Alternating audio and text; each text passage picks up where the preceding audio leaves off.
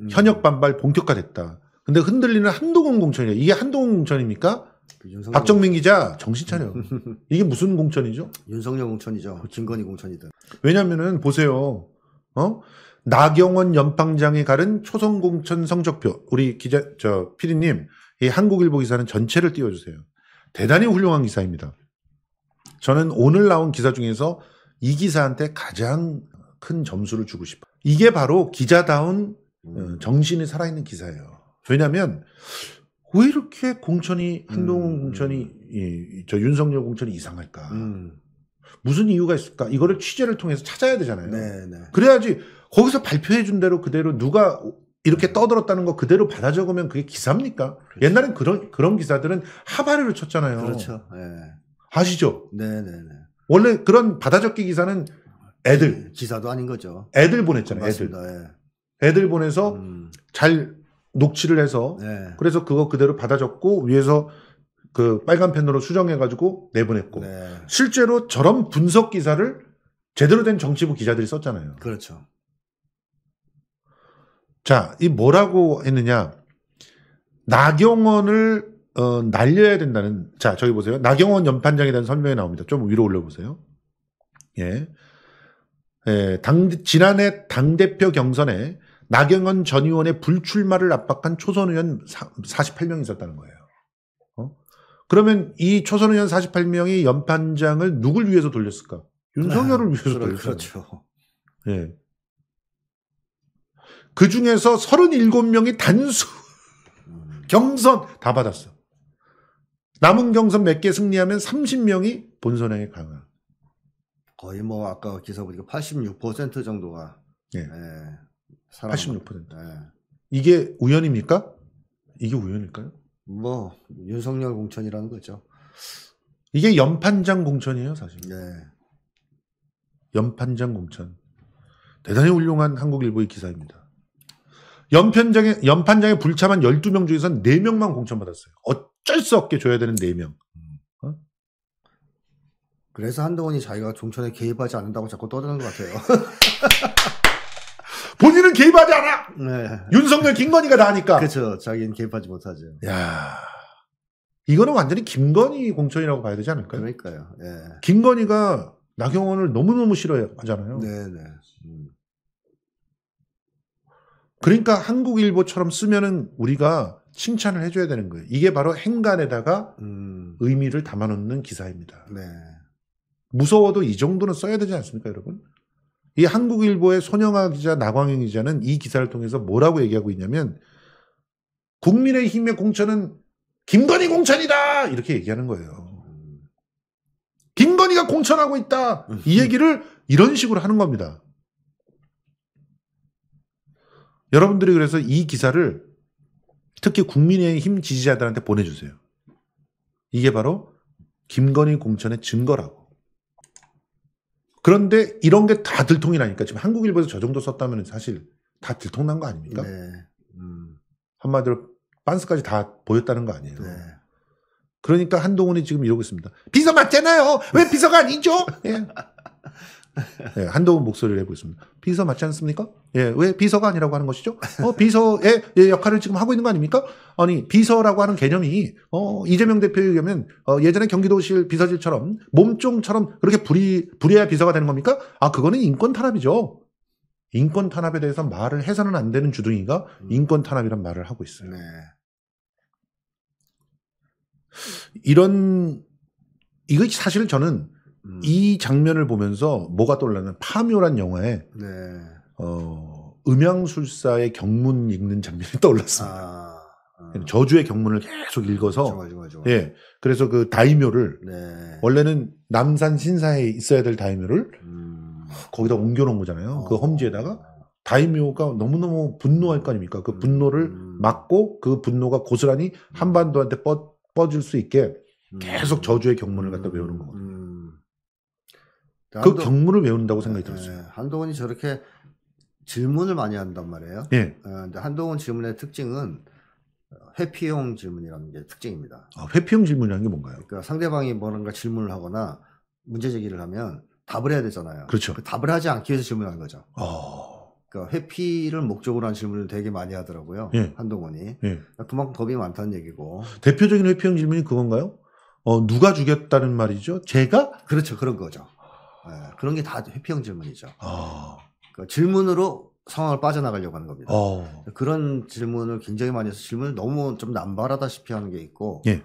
그 다음에 한동훈이 하는 질문 중에 대표적인 것은 상대방을 공격하고 조롱하기 위한 질문이에요. 그렇죠. 이제 그런 거는 그 사람이 워낙 속에 예. 어, 뭐 화가 가득 차 있으니까 그럴 거라고 생각이 그러니까 들고요. 어, 이재명 대표에게는 비서가 몸종처럼 부리는 공직자인가요? 예, 어, 그렇습니다. 그 다음에 또 하나 질문의 특징은 예, 화를 분출하는 질- 조롱의 질문이 아니라 예. 인정받기 위한 질문이 많습니다. 인정받기 위한 질문. 예, 그러니까 동의를 구하는 질문. 예. 뭐 기자분들은 그렇게 생각 안 하세요? 그러니까 이런? 거는 이런 게뭐 그런 거죠. 민주당에서 음주운전 공천하는 게 이재명 때문인가요? 네, 어, 그렇죠. 이런 거. 동의를 구하는. 동의를 구하는 거죠. 예, 자, 예, 니들 예, 나랑 같은 생각이지? 어? 인정받으려고. 인정받으려고. 예. 그러니까 이제 그 질문을 통해서도 한동훈의 그 좀 뭐랄까요 수준 낮은 네. 정치인 세계가 드러난다 이렇게 이제 얘기할 수 있겠죠. 근데 이런 모습은 제가 이제 아까 영화 장면이 잠깐 나왔는데 한번 보여주시죠.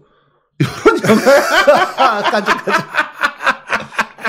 그러니까 여, 여기는 일진도 아니고 네네. 그냥 일진한테 빌 붙어서 삥 뜯는 거 심부름하는 아, 행동대장. 그런 이 행동대장도 못 되고 그냥 양아치. 양아치 맨 앞에. 네, 맨 앞에 양아치. 맞습니다. 그 양아치의 그런 언어들 아닙니까? 아, 맞습니다.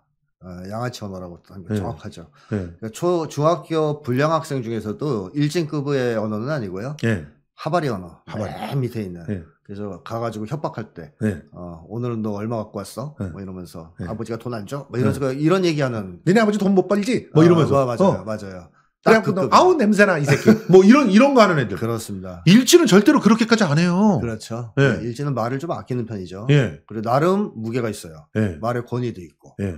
한동훈은 말이 굉장히 가볍고 예. 많고 예. 천박하죠. 예. 예, 입에 뭐 칼이나 걸레를 물었나 싶을 정도로 말이, 아- 말이 아주 문제가 심- 예. 심합니다. 그럼 이 정도면은 이 사람이 이제 자기 위치를 정확하게 알고 있다라고 하는 거는 설명이 돼요. 뭐 위치보다는 체질인 것 같습니다. 체질이다. 원래 그렇게 형성되어 온 사람 같습니다. 음. 왜냐하면 통제가 안 되는 것 같거든요, 저게. 아. 계속 저렇게 하는 거 보면. 어, 맞아요. 실제로 그 어. 많은 전문가들이 한동훈한테 말을 아껴야 된다는 조언들을 많이 하거든요. 예, 특히 컨설턴트들이. 하겠죠. 그런데도 지금 더 심해, 지금 오늘 쏟아낸 거 보십시오. 네, 갈수록 심해지죠. 이거는요, 진짜 여기에 어떤 논리적인 어떤 근거들이 없어요. 민주당만 음주운전 공천한 게 아니라 지네들은 더 많이 했거든요. 그렇죠. 네. 그럼 니네들이 공천을 한 돈봉투 공천은 그럼 돈봉투 받기 때문이야? 음. 윤석열 때문에 그렇게 돈 봉투 공천한 거야? 한동훈이 정치 입문하고 나서 점점 더 상태가 나빠지고 있습니다. 제가 관찰해 본 결과. 처음엔 저 정도까지는 아니었거든요. 예. 점점 더 나빠지고 있는데 그 이유가 뭘까라고 생각해 보면 뭐 첫 번째는 사진 찍어주는 사람들이 생겼다 주변에 그러니까 그런 건 받아본 적이 없을 거 아니야 아. 검사 시절에는 예. 플래시 세를, 세례라고 예, 하죠. 플래시 받고 막 저번에 박수 쳐주고 예. 아줌마들이 와서 뭐 그럴 때마다 코, 이렇게. 예, 목이 막 올라가잖아요. 어, 그리고 팔짝팔짝 뛰어요. 네 뛰고 어 그러니까 이제 까치처럼 진짜. 거, 기서 흥분 상태에 빠지는 게 흥분. 있어요. 아, 사진 찍어주니까 예. 막 꼴려. 예, 예. 예. 흥분이 되는군요. 예. 더욱 더 주목받고 싶고 뭐 과감해진다 그럴까요? 그렇죠. 어, 난막 해도 돼. 예. 그다음에 또 하나는 반대의 측면인데 사냥에 실패한 대가를 치고 있잖아요. 아, 한동훈이. 그렇죠. 예, 그러니까 이재명 대표를 사냥하라고 보냈는데 사냥을 못하고 계속 실패하고 있지 않습니까? 예. 게다가 지난번에 한 번 댐비다가 예. 허리가 꺾였었죠. 그렇죠. 폴더로. 예. 그 이후에 한동훈은 상당한 불안감을 가지고 있을 거라고 예측됩니다. 어. 그래서 총선 이후에 자기 운명을 굉장히 비, 비관적으로 표현을 많이 했거든요. 아, 맞아요. 네, 총선 뒤에는 어떻게 될지 모른다. 어. 뭐 이런 식으로. 그러니까 한동훈도 윤석열에게 한번 찍히면 어. 끝이다라는 걸 알 거예요. 어. 나쁜 놈들끼리는 그 정도 안단 말이죠. 어. 그래서 아 총선 뒤에 나는 팽당하는 거 아니냐, 날아가는 거 아니냐. 예. 그 이재명 사냥을 해야 되는데 성공적으로 그래야 예. 겨우 살아남을 것 같은데 사냥을 잘안 되고 예. 그러다 보니까 거의 강박 증세를 보인다고 전 말씀드렸잖아요. 예. 음, 그래서 상태가 그래서 또 나빠지는 거 아니냐. 그러니까 한편으로는 뽕 맞은 거, 어. 한편으로는 지독한 불안감과 불안감. 두려움 이런 것 때문에 상태가 점점 나빠지고 있다. 그래서 오늘 기사 보니까 네. 한동훈이 그런 얘기를 했어요. 뭐 어제 이재명 대표가 트윗이랑 뭐 이걸 10개 했더라 음. 이런 얘기를 했잖아요. 예. 근데 만약에 우리가 10개 한 거 굉장히 적게 하신 건데. 만약에 우리가 네. 누군가에게 그런 얘기를 들었다고 한번 가정해 보세요. 야, 너 어저께 트윗을 10개 했더라? 응. 그럼 어떤 느낌이 드실까요? 야, 넌 내 스토커냐? 그렇죠. 소름 쫙 돋잖아요. 예. 소름이 쫙 돋아요. 와, 쟤 뭐야? 응. 내가 트윗 하는 거 다 지금 세고, 세고 있어요. 세고 있다는 거 아니야? 이 트윗 이 스토커가 그런 거예요. 예. 이거 스토킹 범죄예요. 제가 볼 때. 그렇네요. 그러니까 거의 지금 한동훈은 이재명 대표한테 거의 많이 강박증 비슷하게 집착하는 것 같아요. 어. 스토킹. 하루에 오늘 트윗 몇개 했지? 예. 어, 아, 10개 했네. 어. 그걸 말해 또 어. 자기가. 어저께 보니까 트윗을 10개 하셨던데. 어. 이 정도면 스토킹이에요. 스토킹. 한동훈 지금 사- 상태 심각합니다. 야, 이 심각한 상태인 중2가 있다. 예. 그러면은 이제 부모님한테 어떻게 권해 드립니까, 보통? 입원시켜야 될 것 같은데. 입원 이 시켜야 정도 된다고? 그냥 상담으로는 안 될 것 같은데. 아니, 진짜 심각하게 제가 여쭤보는 건데 네, 네. 왜 입원이 필요한 거예요? 그러니까 이 정도면 정신이 굉장히 급격하게 나빠지고 있는 상태이기 때문에. 예. 일단 격리가 좀 필요한 거예요? 그렇죠. 특히 그러니까 프레시 세례나 이런 걸로부터 격리를 좀 해야 이 되는 거 사람 아니에요? 공인이라서 더더욱 그렇죠. 예. 집에 있는 학생이면 차례는 안 돼. 예. 공인이기 때문에 예. 무슨 피해를 입힐지 몰라요. 그러니까 지금은 비서 문제로 고발당한 거에 끝쳤지만 예. 사실 그 전에 한 얘기 보면 고발당할 얘기들이 더 많았거든요. 어, 수들이 빽빽이죠. 앞으로 더 많이 나올 거라고 예측하면 예. 틀림없습니다. 예. 더욱 더 심한 얘기, 더욱 더 위험한 얘기, 또 자기에게 손해가 되는 얘기, 심지어는 국힘당에게도 큰 마이너스가 되는 얘기들을 할 가능성이 높아요. 어. 이 추세를 그대로 놔두면. 예. 그래서 좀 국힘당 쪽에서 입원을 시켜야 된다. 자기들이 살기 위해선. 어. 어, 격리시켜야 된다. 근데 막 지금 국힘당에서는 막 어, 한동훈이 오면은 마치 그 선거에서 이길 수 있는 것처럼 행동을 하고 있잖아요. 그러니까 바보들이죠. 한동훈이 아, 대권을 꿈꾼다면 절대로 해서는 안 되는, 안 되는 행동만 골라서 하고 있는 거예요, 지금. 음. 그 대권 주자, 특히 여권의 대권 주자 아닙니까? 그럼 여권의 대권 주자가 보여줄 모습은 뭡니까? 품격이죠. 품격, 통함 등력, 예. 아량, 정치력. 이런 거, 이런 거 예. 정치력 같은 거예요. 예. 그 양아치가 아니거든요. 예.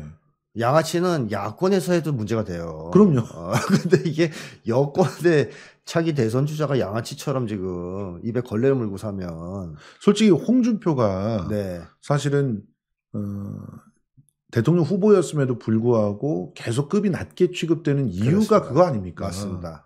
지난 대권에서 홍준표가 음. 무너진 그 보수들을 이렇게 세웠다 이렇게 주장하는 분들이 있는데 그게 음. 아니라 네.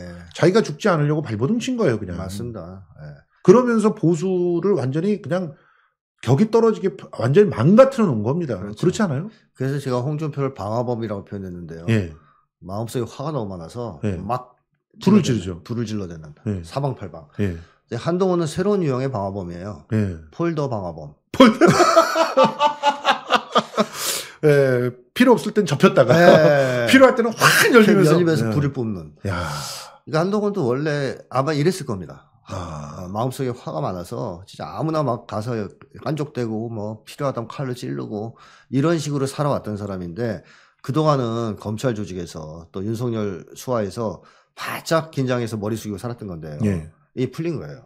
예. 고삐가 풀려서 사진도 찍히고 뭐뭐 이러니까 지금 그 원래의 천성이 방화범의 천성이 나오고 있다. 예. 그렇게 이제 보는 거로.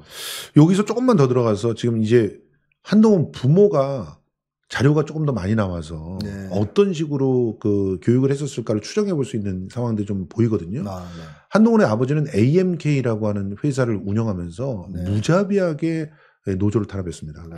노조, 노조를 탄압하는 그런 내용으로 보면 삼성도 혀를 내두를 정도예요. 어, 그 정도로 네. 악랄하게 탄압을 했어요. 네. 그러면서 노동 운동을 하는 사람들에 대한 그 인식이 그냥 음. 버러지를 보는 것 같은 음. 그런 인식이었어요. 음. 쟤네들은 죽여도 된다. 음. 이런 인식을 가지고 노조 탄압을 했어요. 네. 그래서 충청도 노동 운동사 중 가장 음. 참혹한 탄압이 있었던 그 음. 업장으로 AMK라고 하는 네. 데를 꼽고 있다는 겁니다. 네. 그리고 어머니는 부동산 투기를 하고 다녔어요. 어, 네. 그냥 뭐 주민등록법 위반은 그냥 음. 양반이에요. 음. 온갖 투기를 하면서 자기 아들 이름으로 집 했다가 뭐 아. 동생 이름으로 했, 이런 걸 했던 거예요. 네. 그리고 장인이 음. 장인이 또 아, 유명한 진영구예요. 네. 아주 유명한 사람이더구만요. 예. 음. 그 노조를 유도해서 파업 유도를 시킨 조폐공사 파업 유도 사건의 주범 네. 그리고 그 유명한 폭탄주 돌리기의 전설 음. 진영구입니다. 음. 그리고 진영구 아들내미는 또 처남인데 네. 어, 동료 성추행의 1인자로 성, 성폭력 아니었어요? 성폭력 성추행 이런 게 어. 쏟아 지금도 뭐 네, 그런 재밌죠. 음. 그런 얘기들이 있어요. 어. 제가 제보를 받은 게 아직까지 확실하지 않아서 다 네. 말씀을 못 드리지만 음. 지금도 있는 데에서 그런 구설수가 있었다더라 하는 얘기들이 음. 이제 소문을 타고 들려오는데 가문이 훌륭해요. 그런 데서 자랐어요. 네. 그러면 성장기가 어땠을까요? 일단은 사랑을 제대로 못 받은 건 확실하죠. 지금 예. 여러 가지로 봤을 때 예. 아버지나 어머니나 뭐 사랑, 바빠서 사랑을 제대로 하, 그리고 사랑을 할 만한 능력도 없는 사람들이라고 봐야 됩니다. 그런 사람들은. 아니 그렇잖아요. 아버지가 네. 조금이라도 공감 능력이 있으면 네. 노조 사람들 얘기는 들어주지 그, 않겠습니까? 그럼요. 예. 그러니까 한도훈은 사랑과 인정을 못 받고 자라났을 것이다.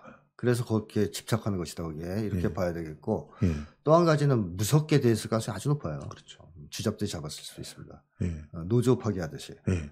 그러면 한동훈은 폴더가 나올 수밖에 없는 거죠. 아, 무서워서. 그렇죠. 무서운 예. 무서운 놈이다. 그러면 폴더. 어, 예.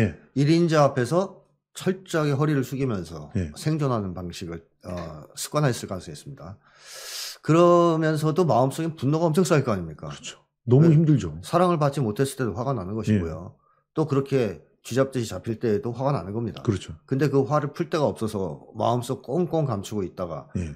자기 친구 중에 삥 뜯을 친구 있으면 가서 걔한테 풀고 그랬겠죠. 그렇죠. 그러다가 검사가 됐고 예. 그뭐 취조하는 대상을 대상으로 이제 풀든가 했을 텐데 예. 이제 날개를 단 거 아니에요. 이제 쉽게 하면 대권 주자로 각광을 받고 있고 사진도 찍히고 음. 이러니까 아까 얘기했듯이 그 뽕의 효과는 굉장히 클 수밖에 없지 않느냐. 음. 어, 사진 뽕 뭐 이런 거, 까치발뽕. 아, 까치발뽕 이런 게 아주 효- 효과가 클 수밖에 없고 예. 또 윤석열의 이 의심의 눈초리 예. 이것이 주는 불안감도 엄청날 거 아닙니까? 김건희의 의심의 누적이겠죠. 예, 예, 맞습니다. 그거 겪어봤을 테니까 예. 그런 데서 오는 정신적인 스트레스. 스트레스, 두려움 이게 보통 크지 않을 것이다. 예. 그래서 한동훈이 점점 더 심하게 정신 상태나 심리 상태가 안 좋은 쪽으로 지금 치닫고 있는 것 같습니다. 어. 그래서 격리를 해놔야 된다. 이 상황과는 좀 떼놔야 사람이 그렇죠. 자기를 돌아볼 수 있는 시간들이 그렇죠. 생긴다는 거 아니에요? 맞습니다. 그 영향을 일단 차단할 필요가 있다는 것이죠. 아. 그 이런 상태가 지금 총선까지 한 30일 남았잖아요. 네네. 근데 총선까지 이어졌다. 음, 그리고 만약에 음, 낙마 이제 그야말로 패배했다. 그 패배를 했다. 네, 국힘당. 이러면 심리가 어떻게 될까요? 뭐 아웃이죠. 일단 윤석열한테 쫓겨나는 건 당연한 거고요. 예. 굉장히 혼란상에 빠질 겁니다. 그래서 본인이 그 얘기를 자꾸 자기 입으로 하거든요. 한 예. 번씩. 총선 이후의 불안감에 대해서. 음. 그러니까 총선 이후에는 완벽하게 의기소침해지던가 예. 완전히 폭주하던가 뭐 여러 가지가 있을 수 있는데 예. 근데 한동훈의 특징은 아까 폴더형 방화범이라 그랬잖아요. 예. 윗사람한테 못 덤벼요. 아. 이게 문제입니다. 그러면은 폭주할 가능성이 좀 낮네요. 폭주하더라도 위에서 한 대 때리면 또 찌그러지겠죠. 그러니까 예를 들어 폭주형 그 방화범 중에 하나가 민경욱 같은 스타일인데 네. 끝까지 가잖아요. 들이받고 막. 어, 네. 끝까지 가잖아요. 네네네. 근데 그렇게까지 가면은 이제 저렇게 그 완전히 정, 음. 전개에서 사라지듯이 네네. 그렇게 되잖아요. 근데 지금 한동훈 같은 경우는 폭주는 못 한다면 이 음. 불안과 공포가 음. 현실화될 날이 이제 막 시한폭탄처럼 다가올 때 네. 어떤 선택들을 할까요? 그러니까 자기를 향할 수밖에 없을 수도 있습니다. 자기 파괴. 네, 자기 파괴적인 행동을 할 수밖에. 아. 그러면 이 사람은 이 사람을 위해서라도 음. 빨리 가, 감옥에 보내는 게 오히려 낫지 않을까 하는 생각이 아, 들어요. 그러니까요. 제가 계속 그런 얘기를 하는 거죠. 예. 어, 한동훈에게 도움이 되는 것. 윤석열도 마찬가지고요. 김건희도 그렇고 감옥 가야 그나마 정신 건강이 더 나빠지는 걸 막을 수 있다 이런 얘기를 하는 거죠. 음. 오늘도 참 놀라운 그런 심리적인 그 분석들을 갖다 받았는데요. 한동훈이 이런 얘기 보세요. 이재명에게 신원보증 받아서 이번 국회에 간첩이 입성했다는데, 야 진짜 윤석열한테 신원보증 받아가지고 어, 이번 대통령실에 간첩이 입성돼 있는 상황을 그대로 자백하는 거 아닌가 하는 생각이 들었어요. 음. 그러니까 자기가 말을 할 때 은연중에 자백을 하자, 하더라고요. 이렇게. 자백을 하기도 하고 예. 또 자기 쪽은 전혀 고려하지 못하고 네. 이 얘기를 하면 그대로 부메랑이 돼서 돌아올 건데 이걸 고려를 좀 못하는 것 같아요. 그러니까요. 네, 지금 대통령실의 상황을 정확히 보여주고 있는 단어 같아요. 네, 윤석열 보증을 받아서 간첩들이 들어와 있는 겁니다. 네. 그래서- 자체가 간첩인데. 예. 그래서 그 간첩들이 하는 짓이 음, 3일절을 갖다 가르치는 네. 기어서 어, 하얼빈 만주 하얼빈에 있는 임시정부가 주도를 해서 운동을 했다는 둥. 와 네. 건곤감리를 갖다 이렇게 세로로 배열을 한, 한다는 둥. 그러니까 자위대라고 읽으라고 막 이렇게 막 하면서 일베 애들 그런 거 있잖아요. 아우 네. 나 해냈어. 와 이- 이러는 거. 맞습니다. 그런 거 해내고 있고 네. 이, 이 간첩들이 하는 짓이 그거예요. 아 나는 어 우리 이제 일본 어 총리님께서 기뻐하셨겠지? 기시다 총리님 보세요 이러고 음. 있는 거 아니에요 지금? 음. 그러니까 한동훈의 저 철진한 색깔론 예. 저게 얼마나 먹힐까 싶어요. 저는 안 먹힐 거라고 보고요, 이제 별로. 그 다음에 간첩이라는 증거도 없잖아요. 저거야말로 명예훼손이고요. 그렇죠. 뭐 예를 들면 국가보안법으로 처벌을 받은 경험이 있다. 예. 그걸 간첩으로 친다면 뭐 국힘당엔 없나요? 당연히 있죠. 국힘당에도 국가보안법 사범들이 있습니다. 함은경 예, 대표적으로 있습니다. 예. 예. 그러면 자기가 이 보증해서 입장을 시켰잖아요. 김윤도 그렇고요. 예. 그- 하태경은 북에까지 갔다 왔다 그랬어요 자기. 아, 그래요. 어, 그러면 뭐 한동훈이야말로 보증 신원 보증을 해주세요. 태영호는 아예 북한 사람이고 어 그러네. 북한 사람들인데 북한 사람이잖아요. 그렇습니다. 야. 저, 저 논리, 저 논리는 한동훈이 할 말이 없다 보니까 색깔론을 또 꺼내 든 건데, 저는 좋은 효과 보기 힘들다고 보고, 민주당이 정면으로 치고 나갈 필요가 있다. 음. 어, 낡은 색깔론이나 들고 나온 네가 무슨 새로운 시대의 정치인이냐, 낡은, 시- 낡은 세대의 정치인이다. 예. 그 다음에 뭐 색깔 공격을 퍼붓는 한동훈은 뭐 쉽게 파시스트다. 뭐 이런 쪽으로 정면 대결할 필요가 있다고 봅니다. 예. 한동훈을 두려워하지 마십시오. 한동훈을 두려워하면 국민들의 신망을 받을 수가 없습니다. 한동훈과 맞서 싸우고 윤석열과 어, 전투를 벌여야 국민들이 더 큰 곳으로 어, 여러분들을 올려놓을 거라고 저는 생각을 합니다. 그러니까 지금 국회에 입성을 앞두고 있는 분들은 어, 부디 이 한동훈, 윤석열과 싸우는 것에 겁을 내지 마시기 바랍니다. 솔직히 쟤네들이 더 겁내고 있다는 걸 우리 인, 인증을 해주셨잖아요. 심리적으로. 그리고 뭐 한동훈을 겁낼 사람은 저는 없는 것 같아요. 그렇죠. 어, 누가 한동훈을 무서워하게 할까요? 그러니까요. 더러워하죠. 더러. 그러니까 무서워서 피하냐, 더러워서 피하지 이러잖아요. 예. 그러니까 이제 지금 부탁해야 될 말은 윤석열은 무서워할 수 있어요. 그러니까 그 그렇죠. 말씀 맞고 한동훈을 더러워하지 마시라는 얘기. 음, 예, 더럽다고 계속 피하면 음. 더 더러운 짓을 하니까 예. 어떻게든 막아야 되지 않겠습니까? 그렇습니다. 오염을 막아야 되죠. 예. 그래서 좀 더럽더라도 손에 뭐 흙이 좀 묻더라도 예. 한동훈을 좀 응징하고 예. 혼을 좀 내줘야 된다는 말씀 드리고 싶습니다. 그렇습니다. 내가 치우지 않으면 누군간 치워야 되잖아요. 그럼요. 근데 이왕이면 내가 치우는 게 훨씬 더 나를 위해서도 좋고 다른 분들을 위해서도 좋다는 사실 꼭 기억을 해주시기 바랍니다. 자 오늘도 어, 많은 걸 배우는 그런 시간이었습니다. 김태형 소장님과 함께한 쌍김치대 이렇게 마무리하고요. 자 오늘 목요일입니다. 목요일은 김성수 TV에서 아주 푸짐하게 상을 차려놓는 그런 시간이잖아요. 일단 3시에 어, 아 일단 6시에 어, 우리 변희재 대표까지 같이 와서 자충우돌 여러분들께 선보일 거고요. 그리고 10시 반에 어, 지금 현재 그 개삼촌들이 예정돼 있는데 에, 그 상황들 또 어, 저희들이 따로 이렇게 올리겠습니다. 그리고 이번 주 금요일 날에는 어, 정말 급한 경선 지역이 있어서 김성수 TV가 또 출동을 하려고 합니다. 보리, 보성하고 어, 순천 이 두 군데를 김성수 TV가 갔다 오려고 하니까 여러분 어, 호남이 지금 변화하고 있습니다. 호남 그 시민들의 정말 피 맺힌 그 투표를 보십시오. 호남 야, 놀랍지 않습니까 진짜 현역들이 그냥 맥을 못 추고 더 떨어져 나가고 있어요. 그 한들을 여러분들께 고스란히 전달을 해드릴게요. 그래서 보성과 순천 어, 둘러오면서 어, 또 찐명 후보들이 입성할 수 있게끔 돕고 저는 또 토요일 날 어, 심야 시사를 통해서 또 만나 뵙도록 하겠습니다. 어, 내용들은 커뮤니티를 통해서 공유를 해드리겠습니다. 자, 오늘 저 여러분 참 방송이 너무 재밌어가지고 몰입하시느라고 좋아요도 많이 안 누르시고 지금 아니 그 좋아요가 왜 이렇게 적어요? 저희 좋아요가 우리 동접이 어디까지 올라갔냐면 동접이 2,100까지 올라갔었는데 좋아요가 2,000이 안 돼요. 예. 좋아요 저 잊지 말고 어, 해주시고요. 그리고 구독 또 여러분 멤버십이 저희는 목마릅니다. 지금 우리 김성수 TV가 23만 5천을 코앞에 두고 있습니다. 23만 4,878명이 지금 그 구독자인데요. 어, 지금 멤버십은 아직까지 300명이 안 됐어요. 멤버십으로 많이 들어와 주시기 바랍니다. 261명이 멤버십인데요. 멤버십으로 좀 들어와 주시면 어, 김성수 TV의 컨텐츠들을 훨씬 더 양질의 컨텐츠로 만들 수가 있습니다. 그리고 어, 여기 밑에 나가고 있죠. 김성수 TV의 가족이 예, 온라인 후원 회원이 되어주시기 바랍니다. ssroad.kr로 들어오시면 온라인 후원 회원에 들어오실 수가 있습니다.